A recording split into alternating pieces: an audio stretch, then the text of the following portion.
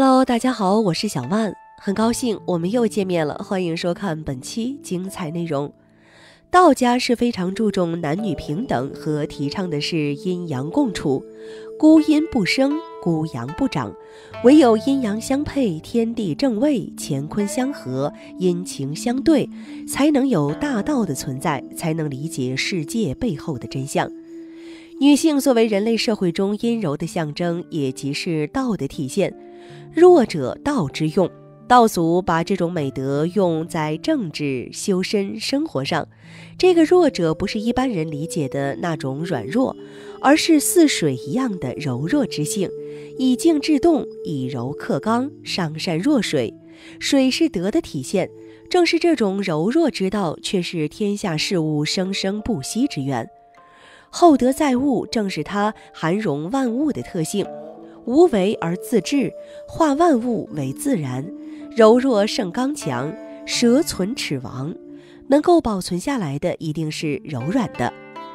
因此，在《道德经》中，“负阴而抱阳，充气以为和，聘常以静圣母，知其雄，守其雌”等贵柔重阴的话语。元阴隐秘要义云：“阴者，阴为无也，无则能变化，无能无有，出生入死，包容隐显也。”如临军之用兵法也，六阴无形，用之则应。凡有道之士用阴，无道之士用阳。阳则可测，阴则不可穷也。所以说，道祖思想在很大程度上是将女性的阴柔之美及勤劳质朴、吃苦耐劳、慈祥和气、温柔善良、聪明智慧、含容不争等美德哲理化。将女性所特有的性格归于伦理道德，如一曰慈，二曰俭，三曰不敢为天下先。中华民族一向是追寻中和之道的，道家一贯重视女性的社会地位，主张男女平等。所谓一阴一阳之谓道，短短七个字便道出了道教的人文关怀。太上道祖的《道德经》突出阐明了阴柔思想的重要意义。上善若水，柔能胜刚等一系列前沿的理念，也深深影响着后人的人生观、价值观等。而早期道家经典《太平经》一书，更是十分鲜明地指出：天下凡事皆一阴一阳，乃能相生，乃能相养。一阳不失生，一阴并空虚，无可养也；一阴不受化，一阳无可失生同也。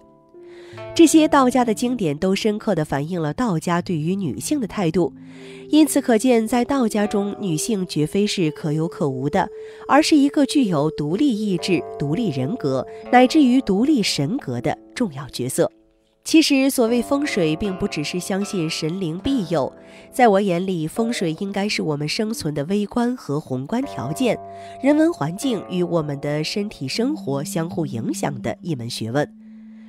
举个例子，同样身体状况的两个人，饮食习惯和生活水平完全一样，但是一个在整齐的屋子里生活，一个在杂乱的屋子里生活，两个人的身体状况会明显不一样，这就是风水。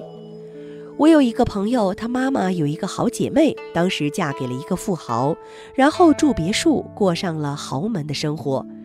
一开始很幸福，但是没有过多久，那个阿姨就去找她妈妈诉苦，说是她丈夫在外面有人了。当时她妈妈在劝说了那位阿姨走了之后，对儿子说：“我早就知道他们的婚姻不会幸福，男的迟早出轨。”儿子不解，问原因。他妈妈懂风水，直接对他说：“他家里的风水不好。”儿子还是疑惑，母亲进一步说：“一。”如果你是一个男人，你晚上回到家里，一进门就看到鞋柜里的鞋子摆得乱七八糟，你会有一个好心情吗？二，你想去吃点东西，走进厨房，橱柜都落了一层灰，你还有胃口吗？三，你想喝点水，打开冰箱，各种零食、蔬菜随意摆放，你还喝得下去水吗？四。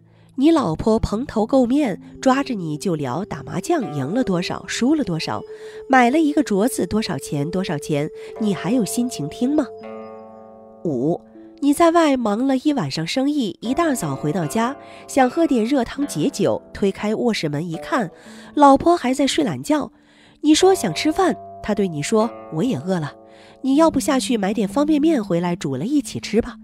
你会下去买了回来吗？女人是家里的风水。那位母亲说。有一对小夫妻，女孩子化着淡妆，看上去很可爱，而且特别爱笑。和他们聊天很轻松，他们就讲到上大学、工作，然后认识、交往，两个人靠互相鼓励、共同打拼，到最后结婚的很多事情。不管讲到什么，两个人给你的感觉都是温馨的、甜蜜的。特别是女孩子，还不时爆料男人一些好玩的事情，调皮但是不过火。这样的场景让销售人员都觉得美好而羡慕，谈单过程自然轻松，销售员也会不自主的想要去给他们最实惠的价格和产品。当然，也遇到过一些女人从一进门开始就一副老气横秋的苦瓜脸，从头到尾一个接一个的挑毛病，两个人更是有点小事就吵个不可开交。更有甚者，甚至当场气得一拍两散，各自回家。本来一件很开心的事情，就变成了这样。这种客户常常买的东西都要比别人贵，因为没有一个好的购物环境，一种舒适的购物体验，一个美好的谈判氛围。越是斤斤计较，就越是给销售员压抑的感觉，这样很难达到心理预期的结果。这样看来，女人可以给家里带来财运。其实，那些越是处处要占便宜的人，往往到最终没有真正占到便宜；而那些真正懂得生活的人，常常会有意想不到的好运。你有没有觉得，在你身边其实就是这样的？你愿意交往的，总是那些开朗活泼、大方温暖、能给你提供正能量的人；而那些凡事都去考虑自己的蝇头小利、整天长吁短叹、处处纠结的人、邋里邋遢的人，你唯恐躲之不及吧。